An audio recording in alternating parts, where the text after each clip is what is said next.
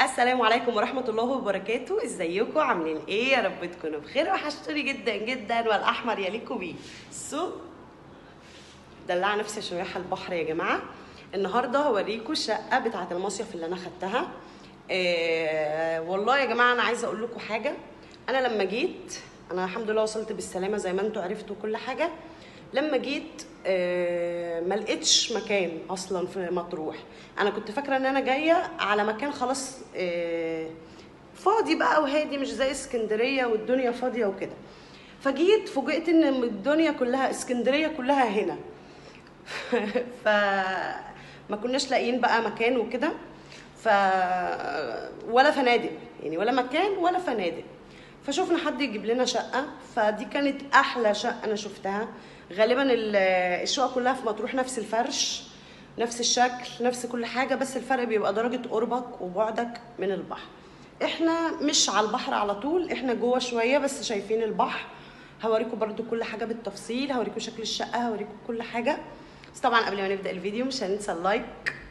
لو مش مشترك في القناة انزل اشترك وفعل الجرس يا حبيب قلبي عشان يوصلك كل جديد.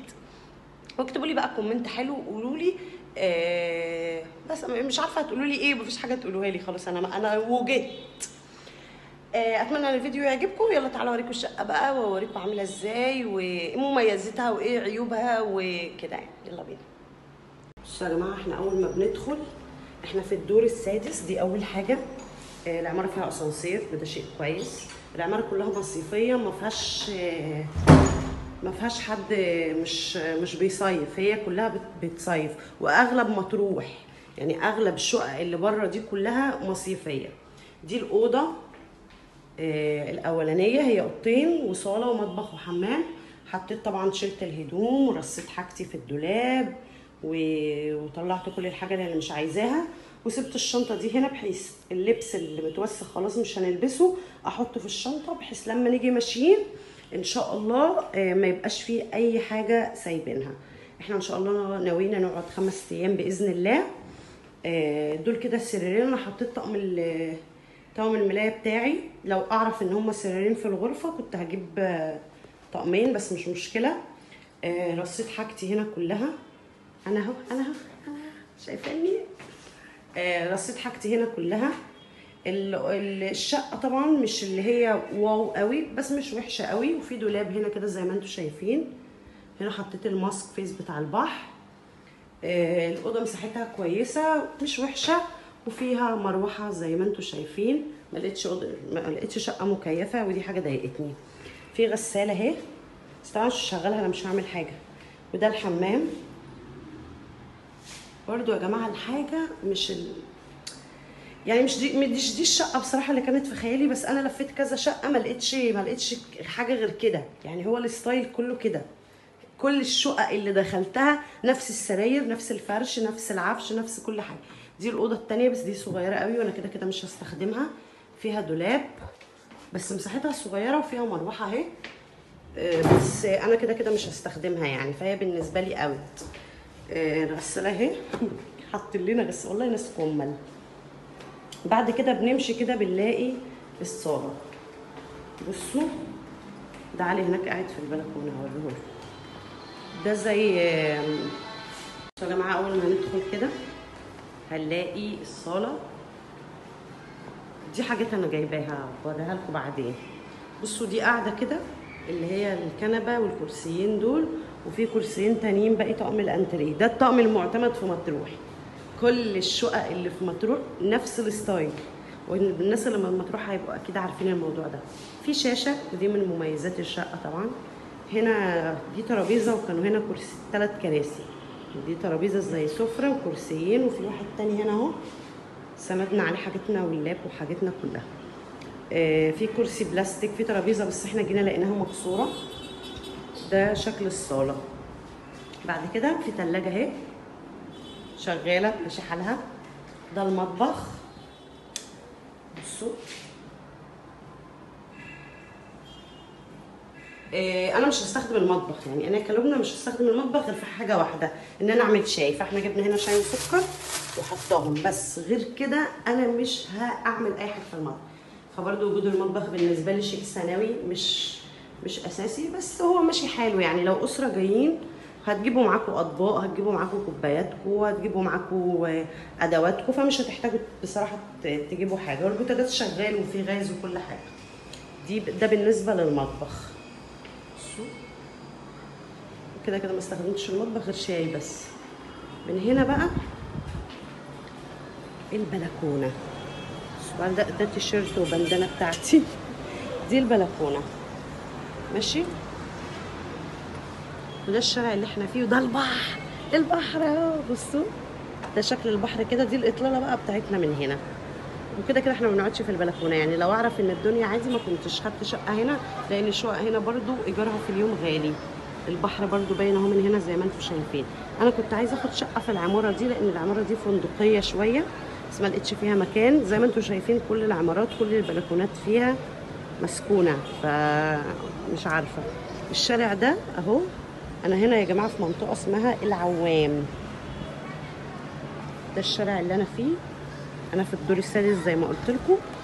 في الاتجاه ده كده آه، سوق ليبيا آه، وشارع اسكندرية. كده الكورنيش ميزة الشقة إن إحنا قريبين من كل حاجة ودي ميزة حلوة. اصبروا قلب الكاميرا واجي بصوا يا جماعة مميزات الشقة إن إحنا قريبين ماشي من البحر. ولو إني أفضل الفندق أكتر. يعني أنا بفضل الفندق عشان فيه كل الرفاهيات بقى اللي أنا عايزاها الشط جوه كل حاجة جوه.